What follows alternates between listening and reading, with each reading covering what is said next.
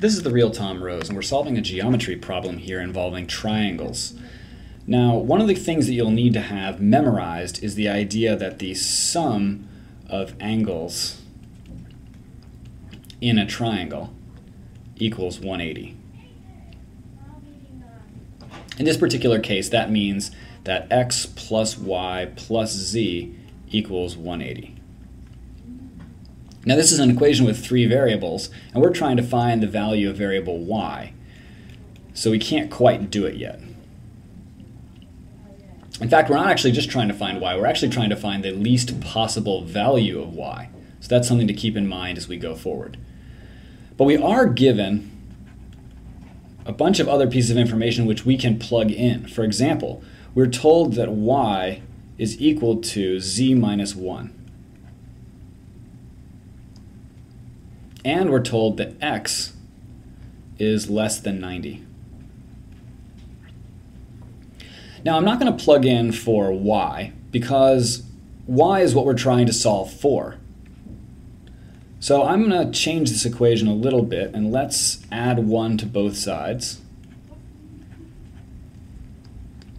so that I can get y plus 1 equals z. And I can actually plug in for z. So I'm going to take that y plus 1, I'm going to plug it into this equation for z. And I'm also going to plug something else in.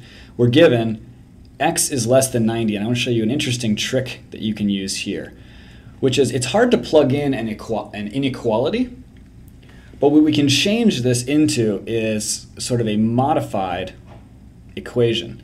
So let's say that x is equal to some number which is less than 90. And what I'm actually going to do is take, that says LT for less than. I'm actually going to take this idea of something less than 90 and I'm going to plug that in for x. So let's write our new equation. We have some number less than 90 plugged in for x plus y plus y plus 1 is equal to 180. Now we have one equation, and one variable, and we can solve for it. So let's start collecting like variables. We end up with less than 90 plus 2y plus 1 equals 180. And what happens, let's start talking about the algebra that you can do with this less than 90 term. Now this represents some number which is less than 90.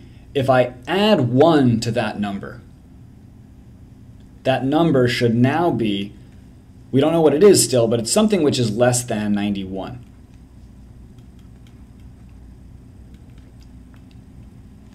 Now let's subtract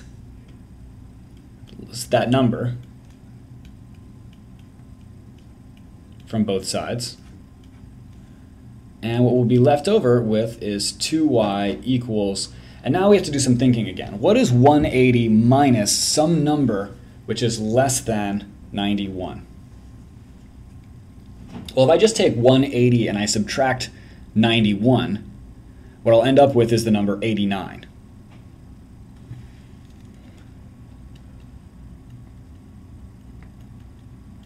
But we're not subtracting 91. We're subtracting something less than 91.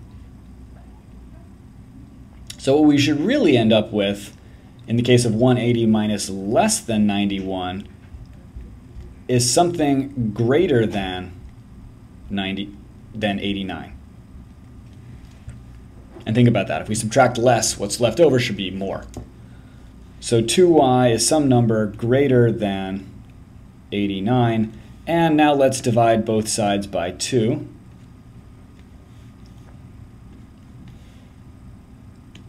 And we end up with y is equal to some number greater than, I'm going to take 89 and divide it by 2 to get 45.5. Uh, sorry, 44.5.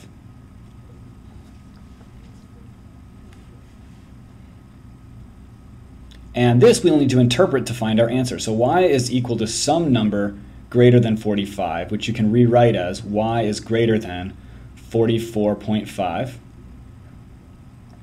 And now let's come back to our to our charge, which is to find the least possible value of y. Well, what is the smallest value of y which will satisfy that condition? And that is y equals 45, which is your answer.